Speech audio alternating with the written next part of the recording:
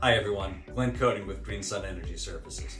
I'm here today to unbox the Tesla Universal Wall Charger. Uh, you may be wondering why we have two here today, and that's because we have a fabulous new client uh, that has two electrical vehicles. Uh, one is a Tesla and what is not a Tesla. Uh, in each one of these chargers, we'll be able to charge both vehicles. So why don't we get, uh, get right to the unboxing and check this out.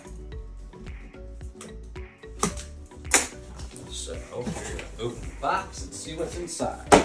So we have our Tesla wall connector and we also have our 24 foot cord.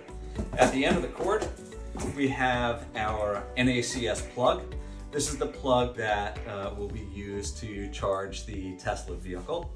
Uh, and you might be wondering how we're going to charge the non-Tesla vehicle. Uh, and that's sitting in here in this cradle. Uh, once this charger is energized, we'll be able to slide this into the cradle, click the little button in here, uh, and we will pull out the J1772 plug, uh, which will be used on the non-Tesla vehicle. So there you have it. Two Tesla EV chargers unboxed for you. Thanks for listening.